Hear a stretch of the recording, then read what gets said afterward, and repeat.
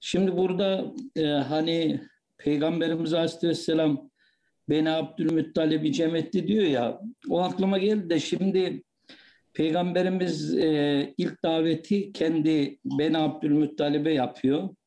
Fakat ilk karşı çıkan da amcası evet. Ebu Leheb. Sonra bütün Mekkelileri davet ediyor. Orada da aynı. Burada ne gibi sır olabilir? Şöyle iki üç dakika onu şey yapsak. Biz bir ara Çillo'ya gitmiştik. İbrahim Hakkı Hazretleri'nin şeyhi Fakrullah Hazretleri'nin kabrinin başında bir şiiri asılıydı.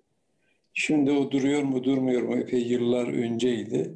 Orada bir şiir diyor ki anlarsa uzağım yakınımdır, anlamazsa yakınım uzağımdır. Bak. Ya. İşte Ebu Leheb Resulullah'ın öz amcası. Ya. E, anlamadı. Bak. Ya. Karşı çıktı. Peygamberimiz Ukaz panayırlarına gittiği zaman panayırda gelen e, Mekke'nin dışından Mekke'ye gelenlere İslamiyet'i anlatıyordu. Peygamberimiz anlattıktan sonra beş dakika sonra Ebu Lahab geliyor. İnanmayın benim bu yeğenime. İşte sihir yapıyor. Yanlış konuşuyor. Tezifler, tahkirler. Hidayet ayrı bir nimet. Ya. Hidayet babadan oğula geçmiyor yani. Veraset gibi değil. Bak. Ya. Hidayette de akrabalık da söz konusu değil yani. Bak. Allah kime kim layıksa Allah hidayet ona bahşetmiş. Bak. Ha.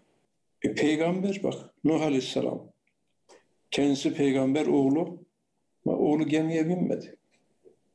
İnanmadı babasına. Ben dağlara çıkacağım.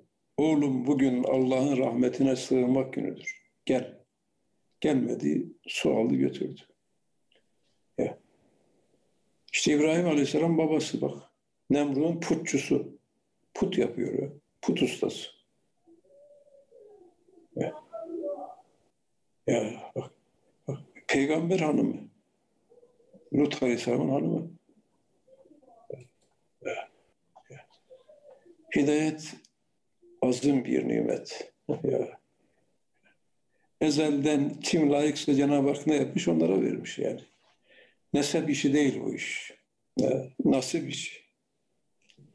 Allah'ın takdir ve tahsili. Tabi e, onun hakkında Ebu Leheb hakkında da ne yaptı? Bakın ayet indi ya. Müştehitler, birçok müştehitler bu şu ayetten 10-15 tane hüküm çıkartmışlar. Leheb'in iki eli kırılsın diyor. Bak niye?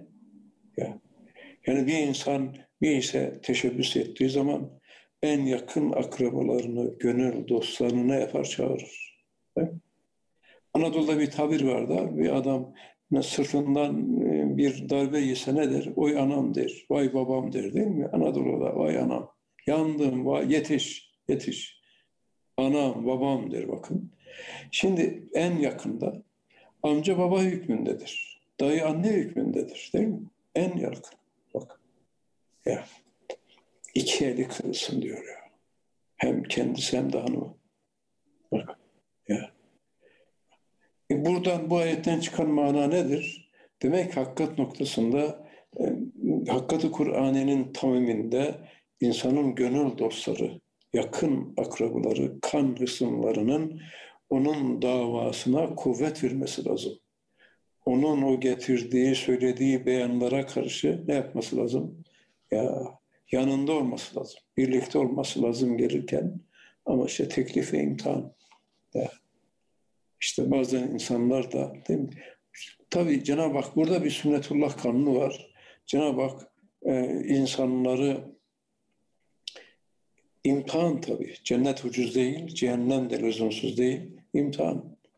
Allah bir Müslümanı anasıyla imtihan eder, babasıyla imtihan eder, akrabasıyla imtihan eder, evladıyla imtihan eder. Ya. Ya. Parayla, makamla, varlıkla, devletle, fukaralıkla, müsibetle hep bunlar bunların hepsine imtihan kağıdı. Şimdi talebenin imtihan kağıdını yakma, yırtma lüksü yoktur. Usul usul dolduracak. İşte böyle hep kaybetti ya. Bak. Sonra ıı, yüzünde gözünde bir yara çıktı. Ya, ya, ya, töktü. Çektiler. Cesedini çeke çeke fırlatıp çukura attılar yani. Ya, ya. İşte buradan ikaz manası e, insanın en yakınlarının dahi ona ne olması lazım? Muin ve müzahir olması lazım. Bir davayı, bir hakikati tebliğ ediyorsan senin yakın akrabaların ona ne yapması lazım? Sana sahip çıkması lazım. Çıkmıyorlarsa onların da neyi vardır? Bir manada mesuliyet ve sorumluluğu vardır manasını da bu ayetten istihraç edip öyle anlamışlar. Evet.